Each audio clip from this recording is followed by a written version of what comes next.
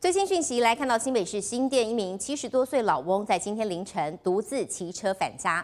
疑似因为下大雨加上视力不好意外的骑进了陌生的田间小路。不巧的是他又刚好低血糖发作导致摔车。家人接到老翁的求救电话之后立刻报警求助。还好老翁只有受到轻伤并没有大碍。